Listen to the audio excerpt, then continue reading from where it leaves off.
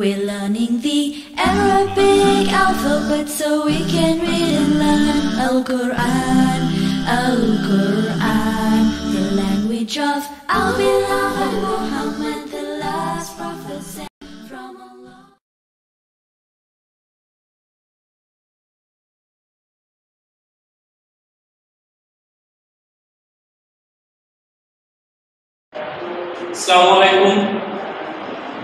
বাচ্চারা আশা করি খুব ভালো রয়েছে। দীর্ঘ সময় পরে তোমাদের সামনে এসে উপস্থিত হয়েছি। দীর্ঘ দুই মাস তোমরা স্কুলে এসে পড়াশোনা করতে পারোনি। হয়তো এই জন্য অনেকটা পিছিয়ে আছো, কারও মন খারাপ। কেউ হয়তো বাড়িতে পড়াশোনা করতে বসছো না, তোমাদের বাবা মা বলছে। তো আমাদের কথা মতো আমরা তোমাদের পড়াশোনা চালিয়ে যাওয়ার মতো ব্যবস্থা করার জন্য প্রথম অনলাইন ভিডিও তৈরি করছি। আজকে দ্বিতীয় শ্রেণির বিষয় গণিতের কয়েকটি আহ, নিয়ে আলোচনা করব। তো এই উপএককগুলি প্রধানত আমাদের পূর্ব পাঠের অন্তর্ভুক্ত। আমরা গত দুই মাস যাব স্কুলে যে বিষয়গুলি শিখেছিলাম সেই বিষয়গুলি হয়তো তোমরা অনেকটাই ভুলে গিয়েছো। সেই বিষয়গুলি আমরা একবার তোমাদের মনে করিয়ে দিতে চাই। এই ভিডিওতে আমরা পুরো পাঠটা কমপ্লিট করার পর নতুন যে ভিডিও বানাবো, সেখানে নতুন টপিকে ঢুকে যাব আমরা, নতুন যেগুলি আমরা স্কুলে শিখেছিলাম না, সেগুলি হয়তো এই ভিডিওর মাধ্যমে শিখব। তবু আজকে শুধুমাত্র আমরা পুরো পাঠটা তোমাদের মনে করিয়ে দিতে চাই, তোমরা বাড়িতে খুব ভালোভাবে প্র্যাকটিস করবে, এইগুলি মনে রাখবে। আর এই পুরো পাঠগুলি আলোচনা করার সঙ্গে সঙ্গে আমি কিছু হোমওয়ার্ক তোমাদের দেবো, এবং তার সঙ্গে স্কুলে একটি প্রতিটি বিষয়ের জন্য হার্ড কপি প্রিপেয়ার করা হবে। সেই হার্ড কপিগুলো তোমরা সংগ্রহ করবে স্কুল থেকে। সেগুলি বাড়িতে নিয়ে যাবে, সেগুলি বাড়িতে বসে পড়বে। প্রয়োজন মতো আমাকে ফোন করবে। যেগুলি তোমরা বুঝতে পারবে না, সেগুলি আমি আমার যথাযথ চেষ্টা করব তোমাদের বুঝিয়ে বলার। তোমরা সেগুলি বাড়িতে কমপ্লিট করে আবার আমাকে স্কুলে এসে জমা দেবে। আমি সেগুলি ভেরিফাই করে নেব কোথাও ভুল ত্রুটি থাকলে সেগুলি আবার আমি তোমাদের বুঝিয়ে দেবো। তো যাই হোক, কথা না বাড়িয়ে আজকের ভিডিও আমরা শুরু করছি। আজকের প্রথম যে উপএককটি নিয়ে আলোচনা করব, সেটি খুবই সোজা, তোমরা সবাই জানো। তারপরেও তোমাদের একটু মনে করিয়ে দিতে চাই। আজকের প্রথম উপেক্ষক পরের সংখ্যাটি দেখো।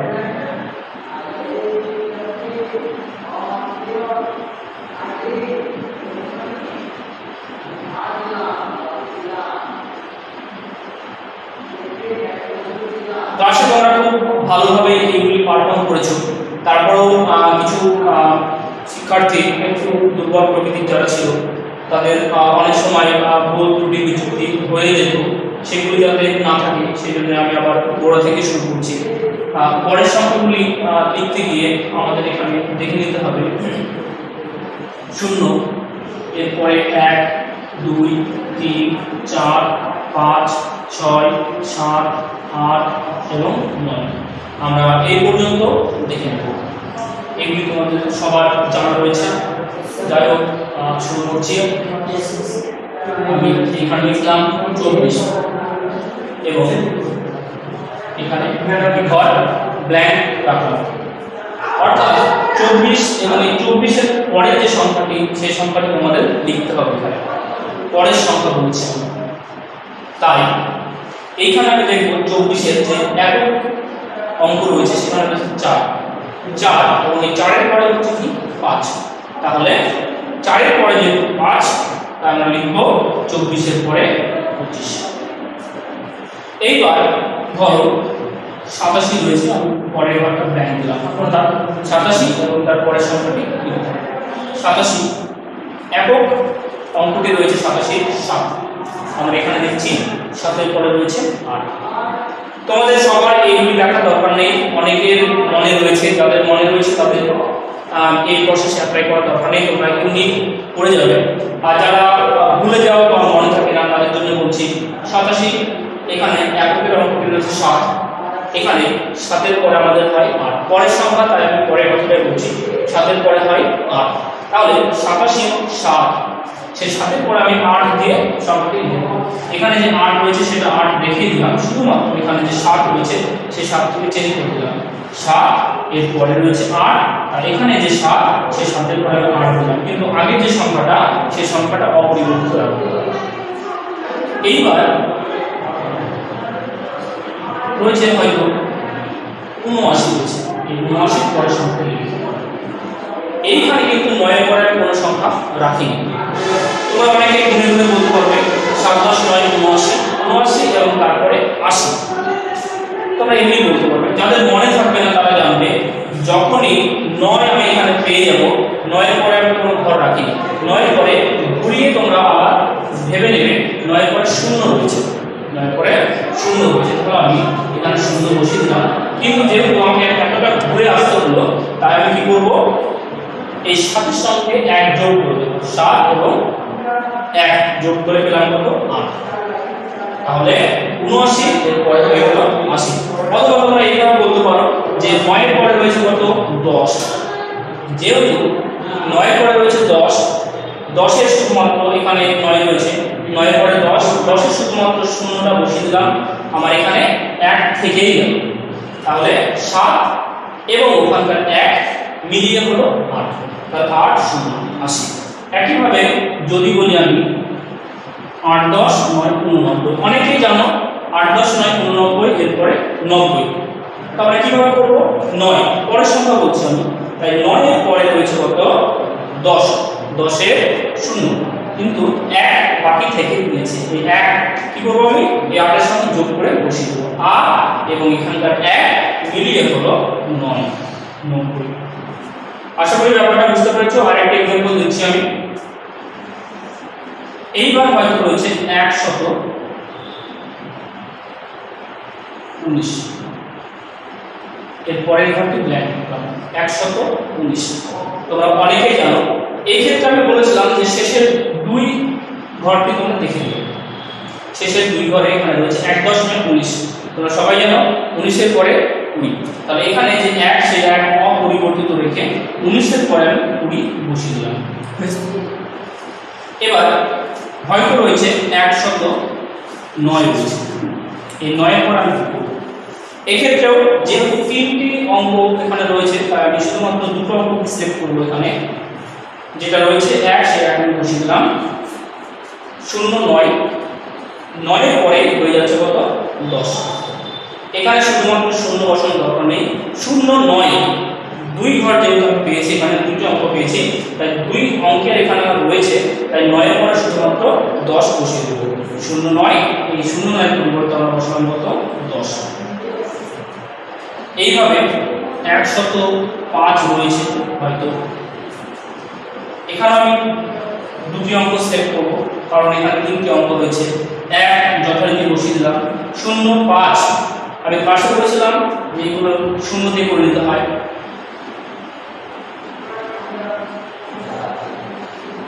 শূন্য পাঁচ, এই শূন্য পাঁচের পরের সংখ্যাটি হচ্ছে কত? শূন্য পাঁচ, এর পরের সংখ্যাটি হচ্ছে শূন্য ছয়। তাহলে এখানে আমি কি বসাবো? শূন্য ছয়। এবার হয়তো রয়েছে দুই শত উনচল্লিশ। এখানে তিনটি অঙ্ক পেয়েছি আমি। এখানে দুটি অঙ্ক সিলেক্ট করলাম এখানে।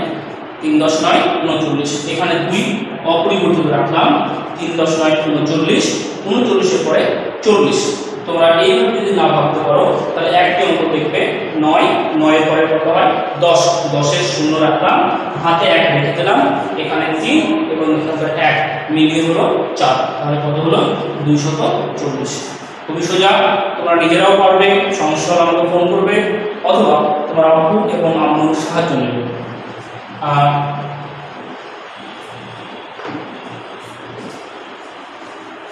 আমি এখন তোমাদের কিছু বাড়ি কাজ দিচ্ছি। যদিও এগুলি বারবার তোমাদের স্কুলে পড়ানো হয়েছে, তারপরেও তোমরা একের কর্মপত্র একের পেজ নাম্বার তিন, তার একেরগুলি বাড়িতে খুব সুন্দরভাবে বসে প্র্যাকটিস করবে। এখন আমি যাচ্ছি মাঝের সংখ্যা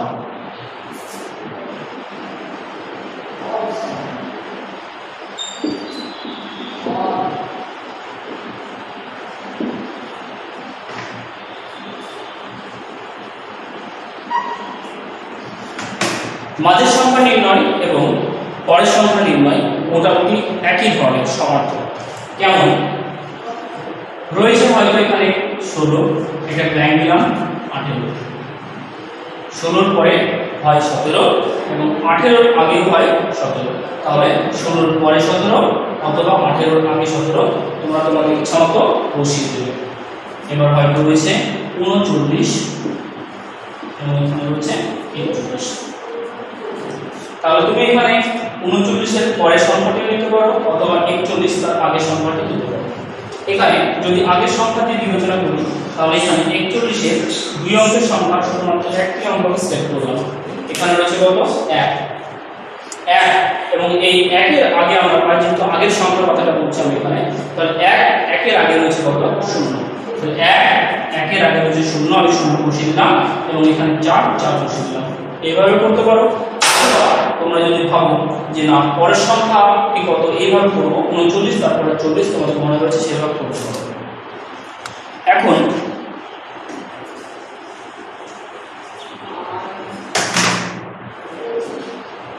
হয়তো রয়েছে একশত আট। এবং এখানে একশত দশ। আমি ক্রমে ক্রমে একটু কঠিনের দিকে যাচ্ছি। তোমরা এখানে তিন অঙ্কের সংখ্যা দেখতে পাচ্ছ। আমি দুটি অঙ্ক সিলেক্ট করলাম এখানেও প্রায় দুটি অঙ্ক সিলেক্ট করলাম। আমরা দুই ভাগে যেতে পারব। শূন্য, একশো আট, পরের সংখ্যাটি নির্ণয় করতে পারি, অথবা একশত দশ, তার আগের সংখ্যাটি নির্ণয় করতে পারি। দুইভাবে করা যেতে পারে। এখানে এক রেখে দিলাম। শূন্য আট আমি সিলেক্ট করেছিলাম, রেখে দিলাম এখানে। আমরা দেখতে পাচ্ছি, শূন্য আট, এই শূন্য আটের পরের সংখ্যাটি হয় শূন্য নয়। আমাদের বলেছিলাম, তাহলে শূন্য আট এর পরে শূন্য নয়।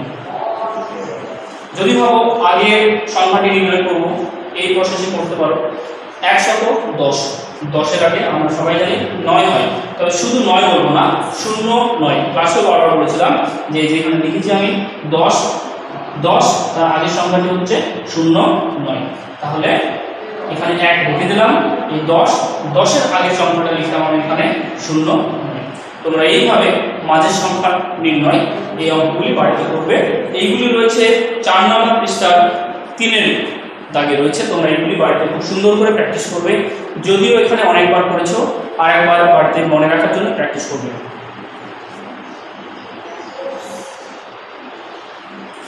এখন যে বিষয়টি সবার কাছে কঠিন লাগে, সেটি হচ্ছে আগের সংখ্যা নির্ণয়। সেটি আরেকবার বুঝিয়ে দিই আমি।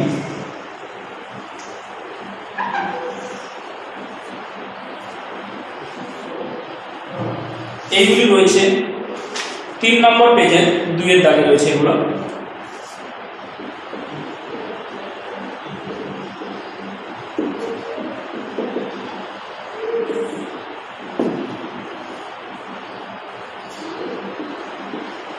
আমি লিখলাম এক দশ আট আঠেরো। আঠেরো ঠিক আগের ঘরটি আমি ব্ল্যাঙ্ক রেখেছি, অর্থাৎ আঠেরো ঠিক আগের ঘর বাঘের সংখ্যাটি নির্ণয় করতে হবে। এখানে এটি দুই অঙ্কের সংখ্যা। আমি সিলেক্ট করব শুধুমাত্র একটি অঙ্ক। আট সিলেক্ট করলাম। এখানে এক আমি বসিয়ে দিলাম। এখানে দেখছি আট। এই আটের আগে রয়েছে শুধুমাত্র সাত। এখানে শুধুমাত্র আমি একটি অঙ্ক সিলেক্ট করেছি, তাহলে শুধুমাত্র আটের আগে সাত বসাবো। যদি দুটি অঙ্ক সিলেক্ট করতাম শূন্য আট, তাহলে শূন্য আটের আগে তখন হতো শূন্য সাত। বাট এখানে শুধুমাত্র আমি আট সিলেক্ট করেছি, তাই আটের আগে বলব শুধুমাত্র সাত। তাহলে এক আমি অপরিবর্তিত রেখে বসিয়ে দিলাম, আটের আগে শুধুমাত্র সাত। ব্যাপারটা বুঝতে পেরেছ? এইবার হয়তো রয়েছে একশত আট। এটি তিন অঙ্কের সংখ্যা আমি সিলেক্ট করব একটি বাদ দিয়ে দুটো নির্বাচন করলাম এখানে। এখন দেখছি আমি শূন্য আট রয়েছে। তাহলে এক অপরিবর্তিত রাখলাম, শূন্য আট। এইবার দুই অঙ্কের সংখ্যা রয়েছে। তাহলে শূন্য আট, তার আগে তোমরা জানো সবাই কত? শূন্য সাত। শূন্য আট, তার আগে রয়েছে কত? শূন্য সাত। তাহলে এখানে শূন্য আট এর পরিবর্তে আগের ঘরে আমরা লিখব শূন্য সাত। এইবার হয়তো রয়েছে একশত উনিশ।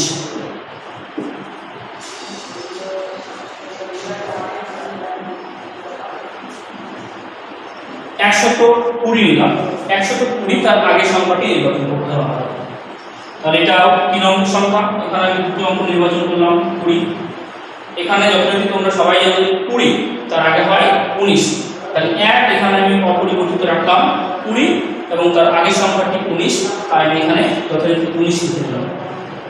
এইভাবে তোমরা আগের সংখ্যা গুলি নির্ণয় যেগুলি রয়েছে আমাদের কয়েকটি আহ, তিন পেজের দুয়ের দাগে সেগুলি তোমরা বাড়িতে সুন্দর করে প্র্যাকটিস করবে। এরপরে করতে যাচ্ছি আমি।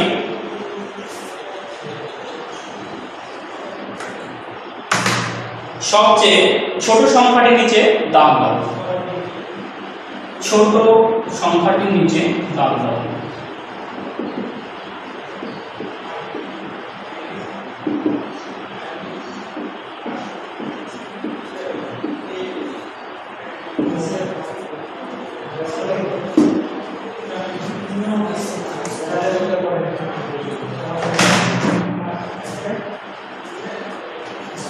আমি বইয়ের যে এক্সাম্পলটা রয়েছে, সেটা আমি নির্বাচন করলাম এখানে।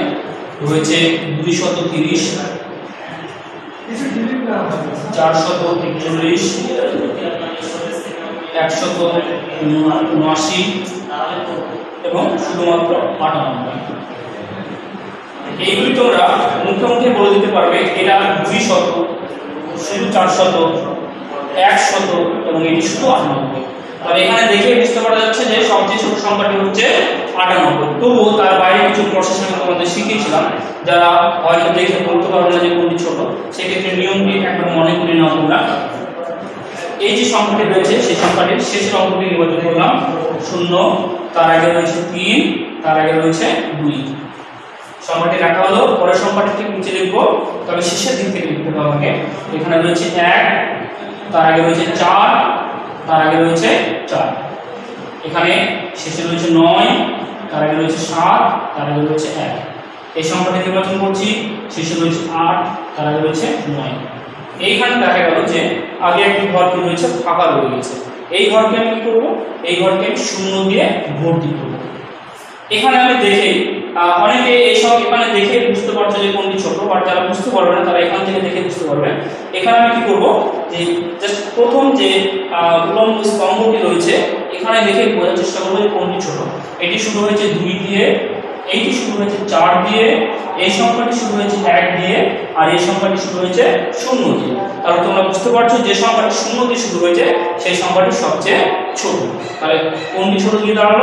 এই যে দাগ দিয়ে দেখালাম তোমাদের। শূন্য, নয়, আট। এই সংখ্যাটি ছোট। তোমরা এই সংখ্যাটি কি করবে? ছোট সংখ্যাটির নিচে দাগ দাও। আমি এখানে দাগ দিলাম। অথবা দাগ দিয়ে বুঝতে পারা যাচ্ছে না, তোমরা এটাকে গোল করে দেবে।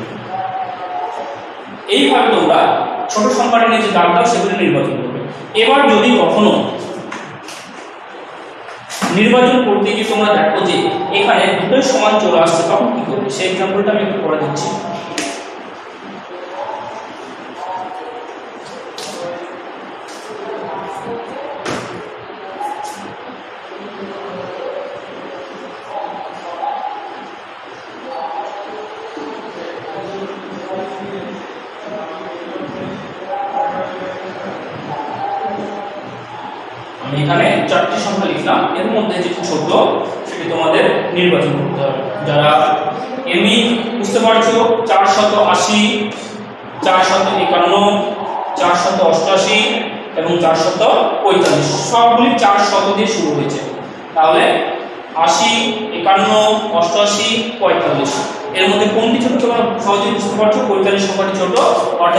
পঁয়তাল্লিশ সংখ্যাটি ছোট তারপরেও যদি তোমরা বুঝতে না পারো, তাহলে আগের মতো করে প্রসেস অ্যাপ্লাই করবে। কি করবে? আমি এখানে সংখ্যাটি লিখছি। শেষে রয়েছে শূন্য, তার আগে রয়েছে আশি, আট, তার আগে রয়েছে চার। এখানে শেষে রয়েছে এক, তার আগে পাঁচ, তার আগে চার। এখানে শেষে রয়েছে আট, তার আগে আট, তার আগে চার। এখানে শেষে রয়েছে পাঁচ, তার আগে চার, তার আগে চার। ছোট বড় ছোট নির্বাচন করতে গিয়ে আমাকে কি করতে হবে? প্রথম যে উলম্ব স্তম্ভ রয়েছে, সেখানে ছোট সংখ্যাটি নির্বাচন করতে হবে। এখানে তুমি ছোট সংখ্যাটি কখনোই খুঁজে পাবে না, কারণ সবগুলি কি রয়েছে? চার রয়েছে। তা আমার এখানে চার আমি, এখানে ছোট বড় কিছু খুঁজে পেলাম না। আমাকে খুঁজতে হবে ছোট সংখ্যাটি তাহলে আমি এখানে যখন পেলাম না, পরের লাইনে চলে যাব। এখানে গিয়ে দেখছি কি? আট, পাঁচ, আট, চার। বলো কোনটি ছোট, এখানে চার সংখ্যাটি ছোট দেখছি এবার। চার সংখ্যাটি নয় সরি চার অঙ্কটি ছোট। তাহলে এখানে আট নয়, পাঁচ নয়, আট নয়, শুধু চার অঙ্কটি ছোট। তাহলে যখন ছোট পেয়ে গেলাম, তখন এটি পেয়েছি আমি এই লাইন বরাবর, তাহলে এই সংখ্যাটি হলো সবচেয়ে ছোট, চার শত পঁয়তাল্লিশ। তাহলে কোনটি পেলাম? চার চার, পাঁচ। এই সংখ্যাটিকে আমি দাগ দিয়ে দিলাম। আশা করি ব্যাপারটা বুঝতে পেরেছ। তোমরা একইভাবে বাড়িতে আরেকবার এখানে স্কুলে করেছ তারপরে তোমরা এই চড়াইগুলি বাড়িতে সুন্দর করে অভ্যস্ত করবে, বাড়িতে বাবা মার সাহায্য নেবে এবং নাম্বারটা আমাকে ফোন করবে। এরপরে আমি এই এক্সাম্পলটা থেকেই তোমাদের বলব যে বড় সংখ্যা নিজে দাগ দেওয়া বড় সংখ্যাটি কীভাবে দূর করতে হয় সেটা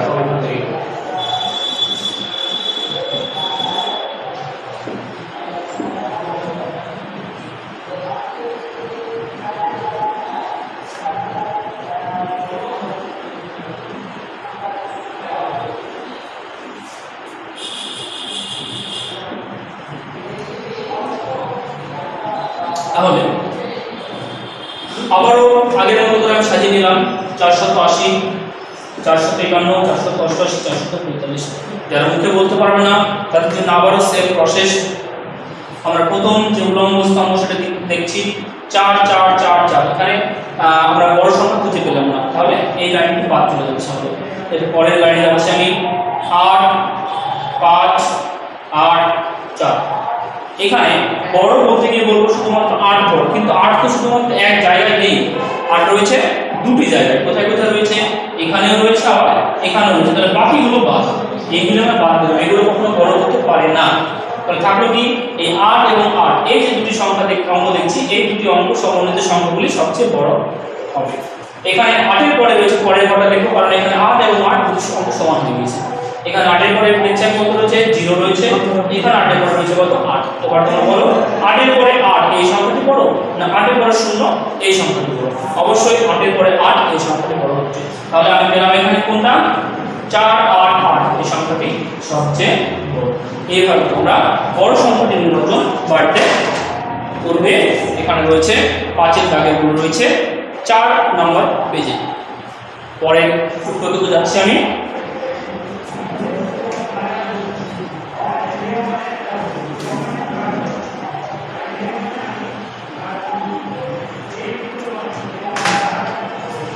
স্থানীয় মান অনুসারে কথায় রাখো স্থানীয় মান অনুসারে কথায় রাখো তোমাদের অলরেডি স্কুলে এগুলি কমপ্লিট হয়ে গিয়েছে। তারপর আরেকবার আমি ঝালিয়ে নিচ্ছি। যাতে করে পরবর্তী ভিডিওতে আমি নতুন করে নতুন পাঠে প্রবেশ করতে পারি এবং এগুলো তোমরা মনে রাখতে পারো। কারণ এই জিনিসগুলো আমাদের পরবর্তীতে আরেকবার কাজে লাগবে। যাই হোক প্রথমে রয়েছে একটা এক্সাম্পল দিচ্ছি আমি বই থেকে এক, ছয়। এটি কত বলতে হবে? এটি সংখ্যায় রয়েছে, আমাকে কথায় বলতে হবে। এটি সবাই দেখে বুঝতে পারছ, এক, দশ, ছয়, ষোলো। তবে সেটি বলার কিছু নিয়ম রয়েছে। কীভাবে বলব? আমাদের দুটো বা তিনটে জিনিস মুখস্থ করতে হবে। এখানে তোমাদের শুধুমাত্র তিনটি কথা মুখস্থ করলেই হবে। এ এর জন্য একক। দ বলতে দশক এবং তালেবস্য বলতে শতক আমি এখানে যে সংখ্যাটি পেলাম, সেই সংখ্যাটি শেষের দিক থেকে বা শেষের অঙ্ক থেকে বসতে শুরু করব। এখানে শেষে রয়েছে কত? ছয় এবং তার আগে রয়েছে কত? এক। তাহলে কত হলো? এই ঘরটি ফাঁকা রয়েছে ফাঁকা রাখলাম এখন। তাহলে এইভাবে বলব আমি। এক দশক ছয় একক। তাহলে এইভাবে বলা যায় একবার। এক দশক বলতে এক দশ ছয়। এক দশ ছয় কত হয়? এক দশ ছয় হয় ষোলো। তাহলে আমি এখানে লিখব, কথায় লিখে দিলাম এটা ষোলো। এরপরে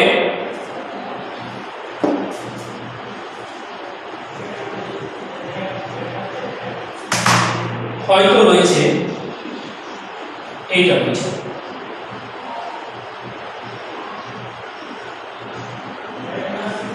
চার এক তিন। আমি আবার যথারীতি শেষের দিক থেকে পড়ছি তিন তার আগে রয়েছে এক তার আগে রয়েছে চার। তাহলে আমি একটু আগে বলছিলাম, এর জন্য একক, বইয়ের জন্য দশক এবং তালবর্ষের জন্য শতক। শেষের দুইটি ঘর মিলিয়ে আমাদের একসঙ্গে উচ্চারণ করতে হয়, সেটা দেখালাম। এখন শতকে তালেবর্ষ শুধু একা থাকে এই তালেবর্ষ ঘরে রয়েছে, বা শতকের ঘরে রয়েছে চার, অর্থাৎ চার শতক চার তাহলে আমি এখানে লিখলাম, চার শতক আর এক দশক তিন একক, অর্থাৎ এক দশ তিন তেরো, তোমরা সবাই জানো, এক দশ তিন তেরো। তাহলে আমি এখানে লিখে দিলাম তেরো। এইভাবে তোমরা পাঁচ পৃষ্ঠার যে ছয়ের দাগেগুলো রয়েছে স্থানীয় মানুষদের কথা লেখো সেগুলি বাড়িতে খুব সুন্দর করে তোমার আব্বু এবং আম্মুর উপস্থিতিতে সুন্দরভাবে করবে এগুলো আচ্ছা আমি পরে একটু যাচ্ছি। ঠিক এর উল্টো, এখন আমি শিখেছিলাম কথা লেখো এরপরে বলব, সংখ্যায় লেখো এগুলি দেওয়া থাকবে ভাষায়, আমাকে লিখতে হবে সংখ্যায়।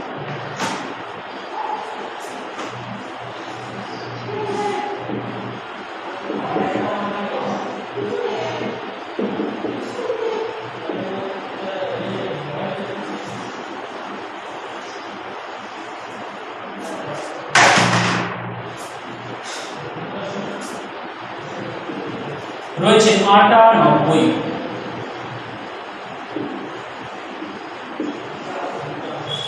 এই যে সংখ্যাটি,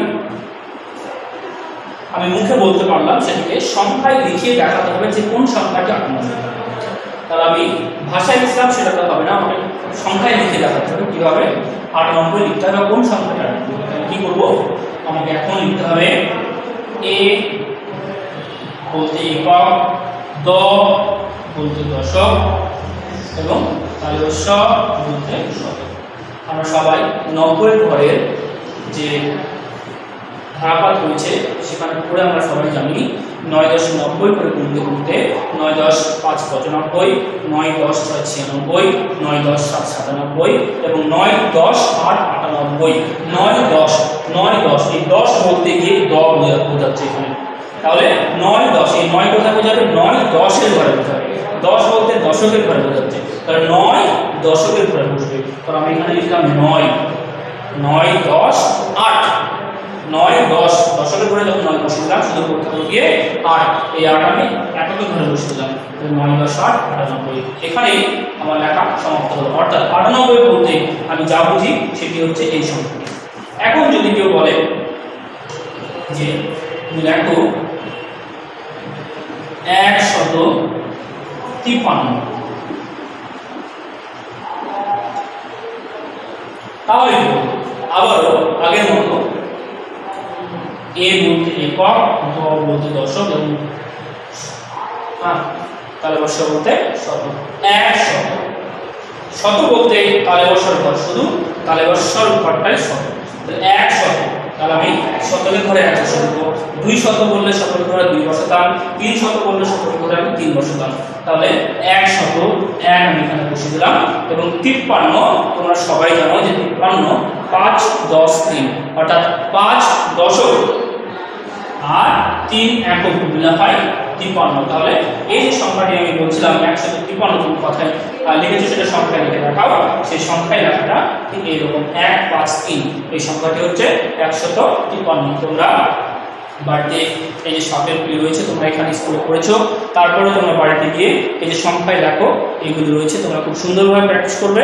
আমি এগুলি স্কুল শুরু হওয়ার পরে অথবা মাঝে তোমাদের স্কুল থেকে হটগুলি পাঠিয়ে দেবো। সেখানে আমি কিছু এক্সাম্পল রাখব, সেগুলি তোমরা করে আমাকে সাবমিট করবে। আমি সেগুলি পরীক্ষা করব। এর পরের দিকে যাচ্ছি, মানের নিম্ন ক্রমানুসারে সাজাও। অর্থাৎ বড় থেকে ছোট সাজাও। এইগুলিও আমাদের স্কুলে হয়েছে। আমি আরেকবার তোমাদের মনে করিয়ে দিই।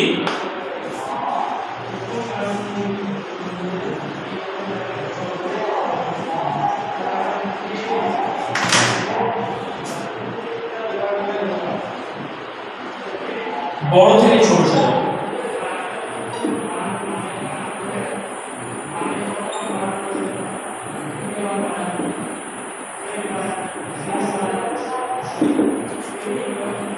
আহ, এই যে উপেকক এটি ঠিক সিমিলার আমরা যে সবচেয়ে ছোট সংখ্যাটি খুঁজছিলাম বা সবচেয়ে বড় সংখ্যাটি খুঁজছিলাম তার সঙ্গে খুবই সিমিলার আমরা ঠিক ওই প্রসেসেই এইগুলি নির্ণয় করব। তোমরা একটু দেখবে। আমি জাস্ট একটি এক্সাম্পল দিয়ে এটা বুঝিয়ে দিচ্ছি তোমাদের। রয়েছে তিন শূন্য চার, এরপরে রয়েছে পাঁচ, সাত, পাঁচ, এরপরে রয়েছে এক এক, সাত সাত, চার, শূন্য শূন্য। এখানে আমাকে কি করতে হবে? বড় থেকে ছোট সাজাতে হবে কোন সংখ্যাটি বড়? সেগুলো সাজাতে হবে। তোমরা দেখে বুঝতে পারছ তিন শত চার, পাঁচশত পঁচাত্তর, শুধু এগারো, সাতাত্তর এবং চারশো। যারা দেখে বুঝতে পারছ যে কোনটি বড় সেটা আগে লিখে দেবে, অথবা যারা বুঝতে পারো না তার জন্য আমি একটা প্রসেস বের করেছিলাম। সে আগের মতো করেই প্রথম যে সংখ্যাটি রয়েছে, সেই সংখ্যার অঙ্কগুলিকে অঙ্কগুলিকে শেষের দিকে সাজাবে।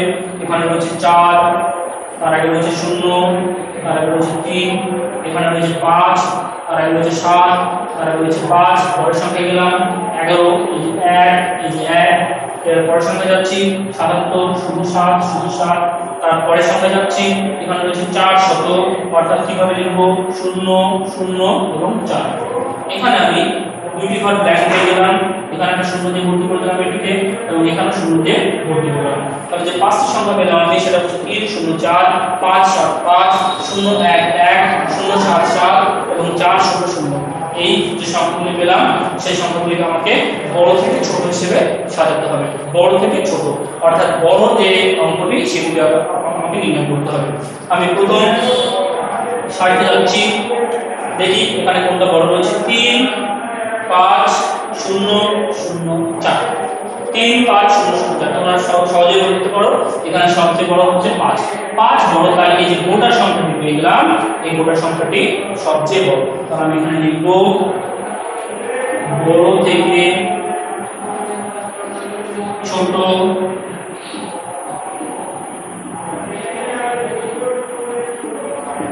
সাজিয়ে পাই তারপর এখান থেকে শুরু করব সবচেয়ে বড় পেলাম পাঁচ, সাত, পাঁচ। একইভাবে আবারও এই যে সংখ্যাটি এটা এটাকে ঠিক কমপ্লিট করলাম এটি বাদ দিয়ে বাকিগুলো দেখব। আবার কমে যাচ্ছে। তিন রয়েছে, শূন্য রয়েছে শূন্য রয়েছে, চার রয়েছে। এখানে বড় বলতে গিয়ে চার অঙ্কটি বড়। চার অঙ্কটি বড়, তাই চার অঙ্ক যে সংখ্যা, সেই সংখ্যাটি এখানে বড় হয়ে গেল। অর্থাৎ চার সংখ্যা এটি আমি কমপ্লিট করে দিলাম। আবার আমি শুরু করছি বড় থেকে। তিন শূন্য শূন্য। বড় তিন। অর্থাৎ তিন, অঙ্ক শুধু সংখ্যাটি বড়। তিন শত চার। পড়ে রয়েছে আমার এখনও দুটো। শূন্য শূন্য। এখানে ছোট বা বড় নির্ণয় করে কিছুই নেই, কারণ দুটোই শূন্য। তাহলে শূন্য শূন্য না দেখে তার পরের অঙ্কটি যাব। এখানে শূন্যর পরে রয়েছে এক এবং এখানে শূন্য পরে রয়েছে সাত। তোমরা বলো, এক বড় না সাত বড়? অবশ্যই সাত বড়। তাই এই যে শূন্য সাত, এই সংখ্যাটি বড় হয়ে গেল। অর্থাৎ শূন্য, সাত সাত। আর আমার পড়ে রয়েছে, এটি এটি আমি কমপ্লিট করে দিলাম। অর্থাৎ পড়ে রয়েছে শূন্য, এক এক। এটি সবচেয়ে ছোট, অর্থাৎ এটি সবশেষে লিখে দিলাম। তাহলে এগিয়ে দাঁড়াল বড় থেকে ছোট সাজিয়ে কি পেলাম আমি? বড় থেকে ছোট সাজিয়ে পেলাম পাঁচশত পঁচাত্তর, চারশত, তিনশত চার শূন্য সাতাত্তর শূন্য এগারো যারা মুখে মুখে বা দেখে দেখে বলতে পারবে যে কোনটি বড় এবং কোনটি ছোট, তারা তোমরা নিজেরাই করে দেবে। আর যারা পারবে না, তারা যেভাবে আমি সাজিয়ে পড়লাম, ঠিক সেভাবে তোমরা বাড়িতে প্র্যাকটিস করবে এবং আমাকে দেখাবে। এরপরে যাচ্ছে আমরা। ঠিক এর উল্টো, ছোট থেকে বড়।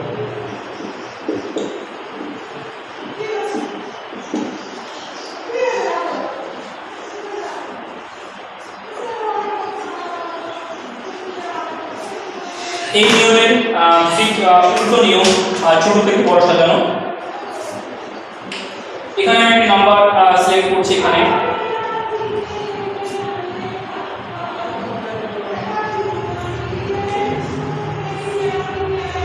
একশত তিরাশি চারশত একশত পাঁচশত দশ, এবং রয়েছে উনিশ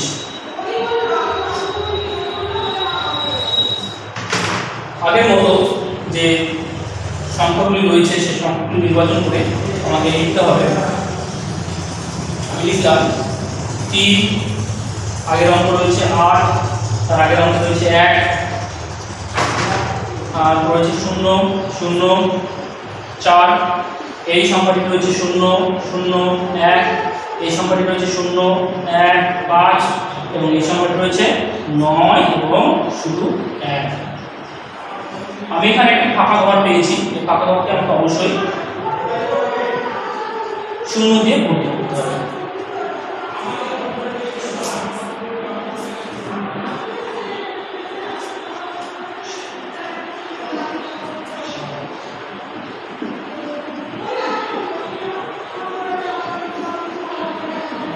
আমরা নির্ণয় করছি ছোট থেকে বড় সাজিয়ে অর্থাৎ সবচেয়ে যে ছোট সংখ্যা, সেই সংখ্যাটি আমাকে প্রথমে নির্বাচন করতে হবে। তাহলে আমি এখানে সাজিয়ে দিয়েছিলাম এক, চার, এক, পাঁচ, শূন্য। সবচেয়ে ছোট? অবশ্যই শূন্য সবচেয়ে ছোট। অর্থাৎ শূন্য দ্বারা শুরু হওয়া যে সংখ্যা, সে সংখ্যাটি সবচেয়ে ছোট। পেয়ে গেলাম শূন্য, উনিশ। এখানে শূন্য আর প্রথমে লেখা দরকার নেই। আমি লিখলাম শুধু উনিশ। এই সংখ্যাটি নির্বাচন করা হয়ে গেছে এরপরে ছোট সংখ্যা এক, চার, এক, পাঁচ। এক, অবশ্যই চার পাঁচের চেয়ে ছোট। কিন্তু এখানে এক রয়েছে দুই জায়গায়। এখানে রয়েছে এক, আবার এখানে রয়েছে এক। অর্থাৎ এই দুটি সংখ্যার মধ্যে যে কোনো একটি প্রথমে ছোট হবে। তাহলে এখানে একের পরে রয়েছে আট পরের অঙ্কে যাচ্ছি। এবং এখানে রয়েছে একের পরে শূন্য। তাহলে শূন্য অথবা আট, এর মধ্যে তোমাকে ছোট নির্বাচন করতে হবে। অবশ্যই শূন্য ছোট, অর্থাৎ একের পরে পেলাম যে শূন্য, সেই অঙ্কটি, সেই সংখ্যাটি এর পরে ছোট সংখ্যা অর্থাৎ পেয়ে গেলাম এক, শূন্য শূন্য। আবারও যাচ্ছি। প্রথমে শুরু হয়েছে এক দিয়ে, চার দিয়ে, পাঁচ দিয়ে। অবশ্যই অবশিষ্ট যে এক দিয়ে শুরু হয়েছে, সেই এক দিয়ে থাকা অঙ্কটি সবচেয়ে ছোট সংখ্যা। অর্থাৎ পেলাম এক, আট, তিন। এখনও দুটো সংখ্যা অবশিষ্ট রয়েছে, এর মধ্যে আমাকে ছোট সংখ্যা নির্বাচন করতে হবে। এটি শুরু হয়েছে চার দিয়ে এবং এটি শুরু হয়েছে পাঁচ দিয়ে। অবশ্যই চার দিয়ে শুরু হওয়া অঙ্কটি সবচেয়ে ছোট। তাহলে চার, শূন্য শূন্য। এবং পড়ে পাঁচ অঙ্ক দিয়ে শুরু হওয়া সংখ্যাটি সবচেয়ে বড় এটিকে সবশেষে নিতে হবে। অর্থাৎ পাঁচশত দশ এইভাবে আমরা ছোট থেকে বড় সাজাও যে অঙ্কগুলি রয়েছে আমাদের বইয়ের নয়ের দাগে, পূর্ব পাঠে, সেইখানে আমরা করব এরপরে যাচ্ছি তোমরা সবাই জানো যোগ বিয়োগ কীভাবে করতে হয়। তো আমি প্রথমেই যোগ কীভাবে করতে হয় সেটা দেখিয়ে দিচ্ছি তোমরা সবাই জানো। তাহলে আমরা পরবর্তী উপপাদ্যতে যাচ্ছি। আজকের পরবর্তী উপেকক আহ, যোগ। আমরা যোগ করার ক্লাসরুমে খুব সুন্দরভাবে শিখেছিলাম তোমরা খুব সুন্দরভাবে এখানে যোগ করে আমাকে দেখিয়েছো। তবুও কিছু ত্রুটি বিচ্যুতি থেকেছিল। অনেক ছাত্রছাত্রীরা একটু দুর্বল ছিল। তাদের সমস্যার হতো আর কি আমরা নতুনভাবে সেই যোগগুলি আরেকবার বাড়িতে মনে করে দেখতে চাই, বাড়িতে খুব ভালো করে প্র্যাকটিস করতে চাই। তোমরা কীভাবে যোগগুলি করবে একটু দেখে নাও। আমি প্রথমত একটা যোগ তুলে নেব। সেই যোগ সেই অঙ্কগুলিকে সাজিয়ে সাজিয়ে আমরা যোগগুলি করব আমাদের পাঠ্য বইয়ের আট নম্বর পেজের দুয়ের দাগের যে যোগগুলি রয়েছে, সেই যোগগুলি আমরা এখন করছি এখানে রয়েছে ছয় শত ষোলো যোগ একশত একুশ যোগ পাঁচ। এই যে সংখ্যাগুলি আমি দেখছি, সেই সংখ্যাগুলি সাজিয়ে যদি আমি যোগ করতে পারি, তাহলে এই যে আট নম্বর পেজ তার দুইয়ের অঙ্কগুলি হয়ে যাচ্ছে। তার সঙ্গে সঙ্গে আমাদের সাত নম্বর পেজে বইয়ের যে অঙ্কগুলি যে যোগগুলি সাজিয়ে দেওয়া আছে, সেই যোগগুলিও তার সঙ্গে হয়ে যাচ্ছে। আচ্ছা আমরা এই যোগটা এখন গঠন করব। দেখো, এই যে যোগ, সেই যোগে আমাকে তিনটে সংখ্যা যোগ করতে হবে। প্রথম যে সংখ্যাটি রয়েছে, সেই সংখ্যাটির শেষ অঙ্ক বা এককের অঙ্ক রয়েছে ছয় আমি শেষের দিক থেকে সাজিয়ে সাজিয়ে আসব। তার আগের সংখ্যার অঙ্কটি রয়েছে এক, এবং তার আগের অঙ্কটি রয়েছে ছয়। সাজিয়ে নিলাম। পরবর্তী সংখ্যা যাচ্ছি। এই সংখ্যার শেষে যে একের অঙ্কটি রয়েছে, সেই অঙ্কটি হল এক, তার আগের অঙ্কটি দুই এবং তার আগের অঙ্কটি এক। এই লেখাটি কমপ্লিট হলো এই সংখ্যাটি লেখা এবার পরবর্তী সংখ্যায় যাচ্ছি। এখানে শুধুমাত্র একটি অঙ্ক এবং একটি সংখ্যা। সেই অঙ্কটিকে আমি শেষের দিক থেকে সাজিয়ে নিলাম। পাঁচ যোগ করছি তোমরা অনেকে তোমরা আঙ্গুল গুণে যোগ করতে শিখে গিয়েছো। আবার অনেকে এখন আঙ্গুল গুণে ঠিক মতো যোগ করতে শেখনি। তাদের জন্য তোমরা বাইরে দাগ কেটে কেটে করবে সেটা বলেছিলাম। তো যারা আঙ্গুল গুণে যোগ করতে পারো না, তাদের জন্য দাগ কেটে যে গুণের ব্যবস্থা, যোগের ব্যবস্থা, সেই ব্যবস্থাকে আমি দেখাচ্ছি। প্রথমে রয়েছে ছয়, আমি এখানে ছয়টি দাগ কেটে নিলাম। এরপরে রয়েছে এক, আমি একটি দাগ কেটে নিলাম। এবং এরপরে রয়েছে পাঁচ, আমি পাঁচটি দাগ কেটে নিলাম।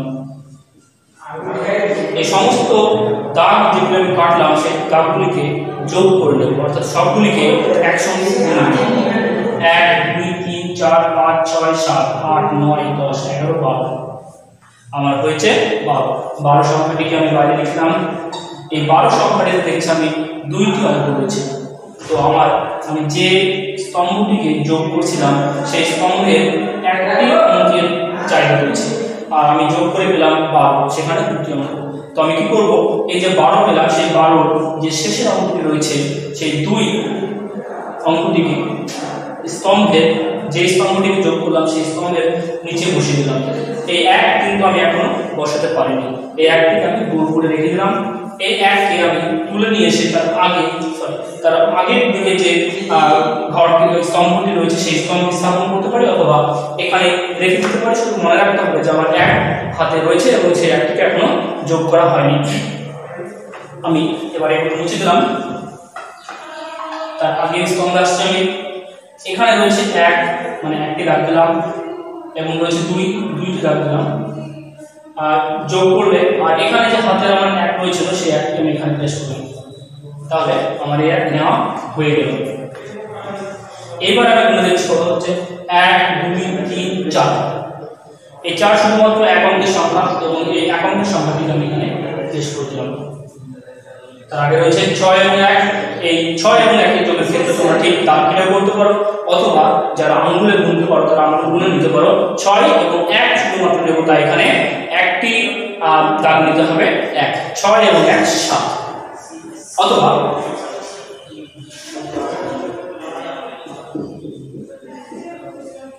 এক, দুই, তিন, চার, পাঁচ, ছয়, সাত।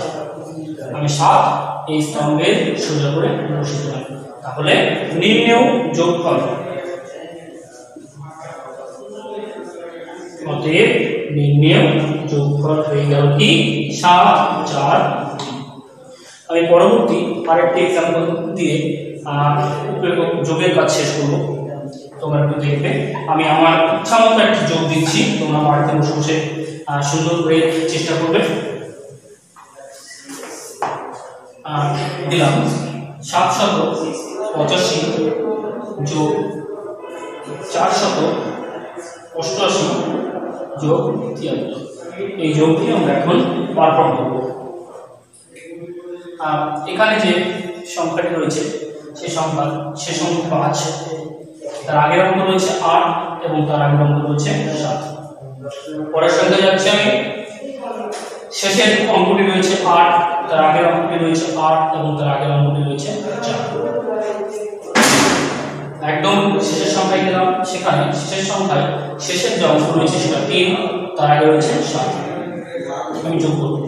তোমরা যারা আঙ্গুল গুণে যোগ করতে পারো, খুব ভালো। তারা আঙ্গুল গুণে যোগগুলি করবে। আর যারা পারো না, তাদের ভয়ের কোনো কারণ তোমরা দাগ কেটে কেটে দাগ গুণে গুণে করবে। হ্যাঁ।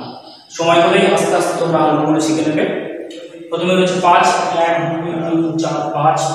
এখানে রয়েছে আট, এক, দুই, তিন, চার, পাঁচ, ছয়, সাত, আট। এখানে রয়েছে তিন, এক, দুই, তিন। সবগুলিকে গুনতে হবে আমার। তাহলে হচ্ছে এক, দুই, তিন, চার, পাঁচ, ছয়, সাত, আট, নয়, দশ, এগারো, বারো, তেরো, চোদ্দ, পনেরো, ষোলো। ষোলো তাহলে এই ষোলো আমি কীভাবে লিখব? এক, ছয়। এখানে দুটি অঙ্ক দাঁড়িয়ে গেছে তাহলে এই দুটি অঙ্কের শেষের অঙ্কটি আমি এখানে লিখব। কিন্তু যে অঙ্কটি বাকি থাকবে সেই অঙ্কটি এর আগের যে স্তম্ভ রয়েছে সেখানে যোগ করার সময় আমি হিসাব করে নেব। আমি বুঝলাম এবার রয়েছে আট এবং এখানকার আট তোমরা একইভাবে দাগ কেটে কাটবে কেটে দেখবে আট এবং এখানকার আট মিলে হচ্ছে ষোলো ষোলো এবং এখানকার সাত মিলে হচ্ছে তেইশ তেইশ এবং এখানকার এক নিয়ে হচ্ছে চব্বিশ চব্বিশ কীভাবে লিখতে হয় দুই চার এখানেও তাই দুটি অঙ্ক দাঁড়াচ্ছে এই দুটি অঙ্কের শেষ অঙ্ক আমি এখানে স্থাপন করলাম চার। এবং আমার এই অঙ্কটি এখন স্থাপন করতে বাকি রয়েছে। এটা আমি ঠিক পরের স্তম্ভে যখন যোগ করব, ঠিক তখন সেখানে যোগ করব এখানে হচ্ছে সাত একইভাবে সাতটি দাগ কাটলাম এবং এখানে হচ্ছে চার। এবং এই যে দুই, সেই দুই কিন্তু আমার এখন যোগ করতে বাকি রয়েছে এবং এই দুইকে ভেবেছি আমি। ঠিক এই স্তম্ভের যোগের সময় নিয়ে নেব। এই দুই আমি এখানে দিলাম, এক, দুই।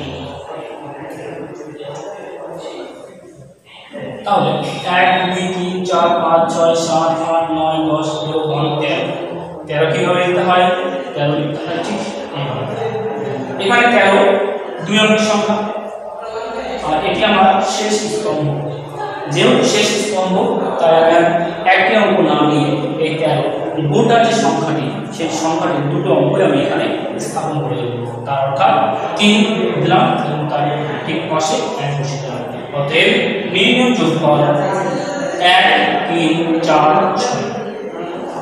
আশা করি তোমরা যোগ খুব সুন্দরভাবে বুঝতে পেরেছ।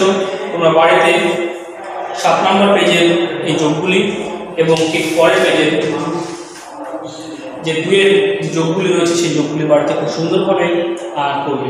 এর পরের দিকে আমি যাচ্ছি উপরে বিয়োগ।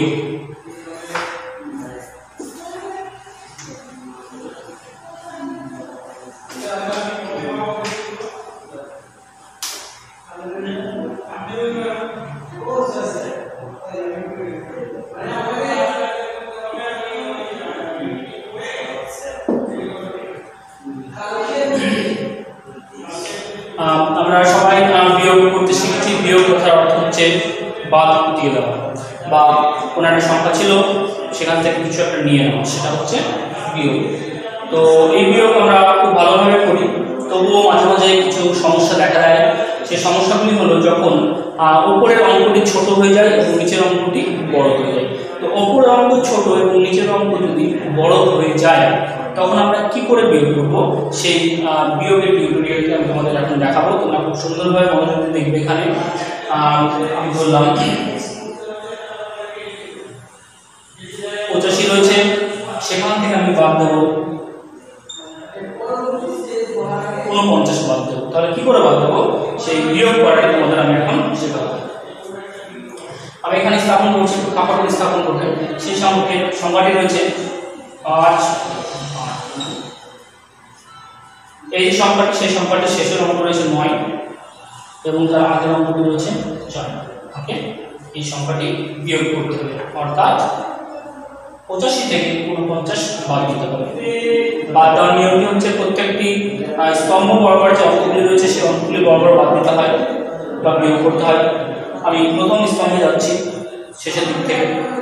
এটা রয়েছে পাঁচ এবং এটা রয়েছে নয়। অর্থাৎ পাঁচ থেকে নয় বাদ দিতে হয়। তোমার কাছে যদি পাঁচটি চকলেট থাকে, সেখান থেকে আমি যদি বলি আমাকে নটি চকলেট দিয়ে দাও, তাহলে দেওয়া সম্ভব নয়। অর্থাৎ এই পাঁচ থেকে নয় বিয়োগ করা যাবে না। কেন যাবে না? তো পাঁচ ছোট অঙ্ক, এবং নয় হচ্ছে বড় অঙ্ক। তাই ছোট অঙ্ক থেকে কখনো বড় অঙ্ক বাদ দেওয়া যায় না। তাহলে আমরা এই বিয়োগটি কী করে করব? হ্যাঁ সেক্ষেত্রে কিছু নিয়ম সেই নিয়মটি আমরা দেখব।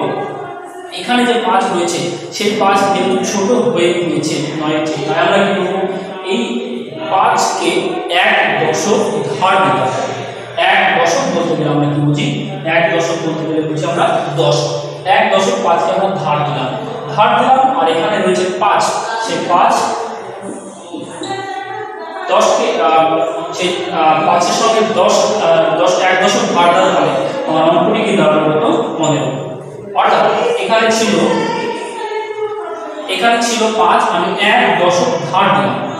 তাহলে সংখ্যাটি হয়ে গেল হতো নয় তাহলে এবার কিন্তু পনেরো থেকে নয় আমি বাদ দিতে পারব। কারণ পনেরো সংখ্যাটি পনেরো সংখ্যাটি নয়ের চেয়ে অনেক বড়। তাহলে এবার পনেরো থেকে নয় যে বিয়োগ করব সেই বিয়োগের নিয়মটি আমরা আঙ্গুলে গুণে করতে পারি। তার যেমন নয়ের পরে দশ, এগারো, বারো, তেরো, চোদ্দ, পনেরো। পেলাম কত? এক, দুই, তিন, চার, পাঁচ, ছয়। কত পেলাম আমি ছয় পেলাম যারা আহ, আঙ্গুলে গুণে করতে পারবে না তাদের সেই আবার আগের মতো দাগ কেটে গুণে গুণে করতে হবে। এখানে রয়েছে পনেরো তাই পনেরোটি দাগ কাটবো আমি। এক দুই তিন চার পাঁচ ছয় এখান থেকে আমি কি করব নয় দ্বারা বিয়োগ করব। বিয়োগের অর্থ বাদ দিলাম তাহলে বাদ দিলাম এক দুই এই যে দাগগুলো আমি নয়টা বাদ দিয়ে দিলাম। তাহলে থাকবে কত গিয়ে? এক এখানে বসাতে হবে, ছয় বসাতে হবে। এই অঙ্কটি ছিল পাঁচ। কিন্তু আমি এটা ধরে নিয়েছিলাম পনেরো। এই পাঁচটা আমি এক দশক ধার দিয়েছিলাম। সেই ধারটা আমাকে এখন ফিরিয়ে দিতে হবে। আমার বিয়োগ করা হয়ে গিয়েছে। এই যে ধার দিলাম আমি এক দশক, সেই এক দশককে আমার কি করতে হবে? এই এক দশককে ফিরিয়ে দিতে হবে। কাকে ফিরিয়ে দেবো? এই এক দশক ফিরিয়ে দেবো তার ঠিক আগের যে স্তম্ভ রয়েছে, সেই স্তম্ভের নিচের সংখ্যাকে ফিরিয়ে দিতে হবে। তাহলে এখন এই চারের এখানে যদি আমি এক ফিরিয়ে দিই, তাহলে কি হলো? চার এবং এখানকার এক নিয়ে কত হয়ে গেল? পাঁচ। তাহলে এটা কিন্তু এখন আর চার নেই। এটা হয়ে গেছে কত? পাঁচ হয়ে গেছে কারণ এ এক দশক ধার পেয়েছে আর এখানকার এক আমি এখানে যখন ফিরিয়ে দিলাম দশকের ঘরে তখন চার এবং এখানকার এক মিলিয়ে হয়ে গেল পাঁচ। তাহলে এটা কিন্তু তোমরা এখন চার ভাববে না। এই চার এবং এখানকার এক নিয়ে হয়েছে পাঁচ। এখন আমাকে আট থেকে চার বিয়োগ করলে হবে না, আট থেকে পাঁচ বিয়োগ করতে হবে। তাহলে পাঁচ, ছয়, সাত, আট, হচ্ছে কত? তিন। এটি তুমি দাগ কেটেও করতে পারো এক, দুই, তিন, চার, পাঁচ, ছয়, সাত, আট।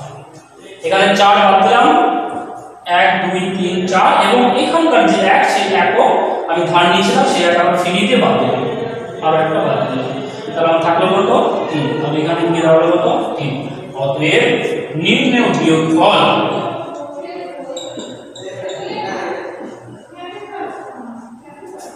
ছত্রিশ। আশা করি তোমরা বাড়িতে বুঝতে পেরেছ।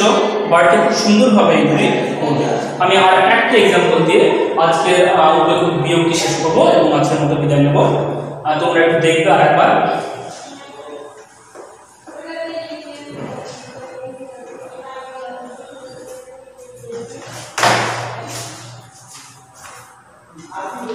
আমি তিন অঙ্কের সংখ্যার বিয়োগটা দেখাচ্ছি, কারণ আমাদের বুকসে তিন অঙ্কের বিয়োগ রয়েছে, তোমাদের এগুলি বাড়িতে করতে হবে। আমি একটি বইয়ের উদাহরণ থেকে তুলে দিচ্ছি অঙ্কটি ঢয়ের অঙ্ক। রয়েছে পাঁচ, সাত পাঁচ সেখান থেকে বাদ দিতে হবে বিয়োগ করতে হবে তিন, নয় নয়।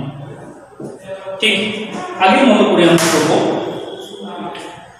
পাঁচ থেকে নয় আমরা জানলাম যে পাঁচ ছোট অঙ্ক এবং নয় বড় অঙ্ক, তাই পাঁচের থেকে নয় বিয়োগ করা যায় না। তাহলে কি করতে হবে? এই পাঁচকে এক দশক ধার দিতে হবে। তাহলে এই এক দশক ধার দেওয়ার ফলে পাঁচ এক দশক ধার দেওয়ার ফলে হয়ে গেল কত? পনেরো হয়ে গেল। এটা কিন্তু আর পাঁচ নেই এখন, এটা পনেরো হয়ে গেছে এক দশক ধার নিয়ে পনেরো হয়েছে। তাহলে পনেরো থেকে নয় বাদ দিলাম। আগের মতো করে আগে যে আমি এক্সাম্পলটা দিচ্ছিলাম, সেখানেও কিন্তু তাই, যে পনেরো থেকে নয় বাদের নয় বাদ দেওয়ার বা বিয়োগ করার প্রবলেমটি ছিল। সেখানে আমরা পনেরো থেকে নয় বাদ দিয়ে দেখেছিলাম কত হয়েছিল? ছয় হয়েছিল। আমি ছয় এখানে বসিয়ে দিলাম। এই যে এক দশক ধার নিয়েছিলাম এই এক দশক কিন্তু পাঁচের প্রাপ্ত ছিল না, পাঁচকে দেওয়া হয়েছে। তাহলে সেই পাঁচ কি করব? আবার এক দশক ফিরিয়ে দেবে। কাকে ফিরিয়ে দেবে? এই এক দশক ফিরিয়ে দেবে ও, এই যে নয়, এই নয়কে ফিরিয়ে দেবে। তাহলে কি করব? এই সাত। সাত থেকে কিন্তু নয় নেই আর কেন? নয় ছিল এবং এখানকার এক আবার ফিরে পেয়েছে, ফিরে পেয়ে হয়েছে নয় এবং এক দশ। নয়ের সঙ্গে এক যোগ করলে দশ। এই অঙ্কটি এখন দশ, নয় না। অঙ্কটি দশ। তাহলে সাত থেকে কি আমি কখনো দশ বাদ দিতে পারব? না। কারণ সাত ছোট অঙ্ক এবং দশ বড় অঙ্ক। তাহলে এখানে আবারও আমাকে এক দশক ধার দিতে হবে সাতকে ছিল সাত, তাকে আমি যখন এক দশক ধার দিয়ে দিলাম, সেটা হয়ে গেল কত? সতেরো হয়ে গেল। এইবার এখানে রয়েছে সতেরো, এই সতেরো থেকে আমি এবার নয় সরি, এই নয় মানে এটা নয় এবং এখানকার এক নিয়ে দশ হয়েছে, এক দশক নিয়ে তাহলে নয় এখানকার দশ সতেরো থেকে দশ বাদ দেবো। তোমরা আগের মতো করে বাদ দেবে। সতেরো থেকে যখন আমি দশ বাদ দেবো,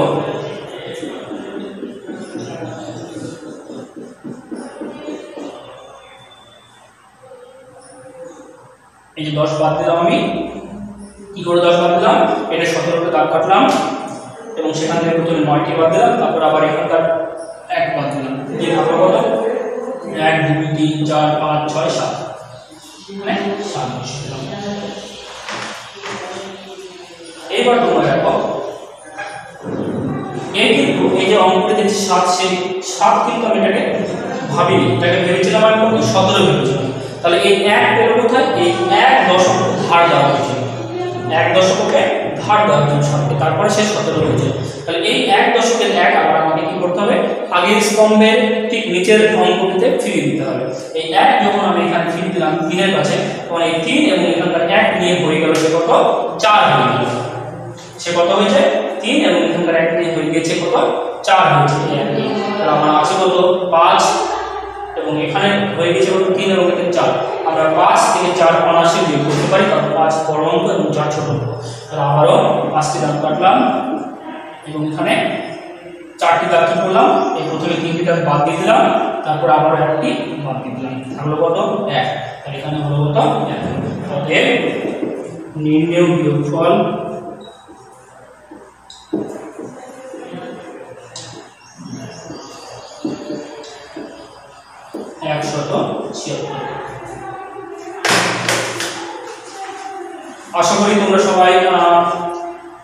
কীভাবে করতে হবে সেটা বুঝতে পেরেছ। তোমরা সবাই জানো। এবং আমার বিশ্বাস রয়েছে, বাড়িতে তোমরা খুব ভালোভাবে পড়াশোনা করছ। আব্বু এবং আম্মুর সাহায্য নিচ্ছ পড়াশোনায়। তো আমি আজকে বিয়োগগুলি শেখালাম সেগুলি রয়েছে আমাদের যে পাঠ্য বই ক্লাস টু এর সেই পাঠ্য বইয়ের আট এবং নয় নম্বর পেজে তোমরা আট নম্বর পেজ এবং নয় নম্বর পেজের যে বিয়োগ অঙ্কগুলি রয়েছে, সেই অঙ্কগুলি আগে যে হোমওয়ার্ক বা কাজ দিলাম, তার সঙ্গে সঙ্গে এইগুলি করে নেবে। আশা করি তোমরা বাড়িতে এগুলি করতে পারবে। আর পরবর্তী সময় আমরা স্কুল থেকে কিছু হার্ড কপি তোমাদের বাড়িতে পাঠানোর ব্যবস্থা করব। সেই বাড়িতেও কিছু কিছু এক্সাম্পল দেওয়া থাকবে সরি কিছু কিছু প্রবলেম দেওয়া থাকবে আমি আজকে যে বিষয়গুলো নিয়ে আলোচনা করলাম, যেমন আগের সংখ্যা মাঝের সংখ্যা ছোট থেকে বড় সাজানো বা বড় থেকে ছোট সাজানো, যোগ করা এবং বিয়োগ করা, সেগুলি তোমরা বাড়িতে খুব যত্নের সঙ্গে করবে এবং পড়ার পর সেগুলি একবার মিলিয়ে নিয়ে আবার আমাদের স্কুলে জমা করে যাবে। আমরা সেগুলি ভেরিফাই করে আবার তোমাদের ফেরত পাঠাবো। আর আজকে আর বেশি সময় নিচ্ছি না এ পর্যন্ত রাখব। তোমরা বাড়িতে খুব ভালোভাবে পড়াশোনা করবে বাড়ির মধ্যে থাকবে বাড়ি বাড়ি বেরোবে না। আর তার সঙ্গে আব্বু আম্মুর কথা শুনে চলবে। খুব ভালো থাকবে। আজকে আমরা এখানে শেষ করছি। আবার পরবর্তী ভিডিওতে নতুন নতুন আহ, নিয়ে দেখা হবে তোমাদের সঙ্গে। বেস্ট অফ লাক আসসালামু আলাইকুম।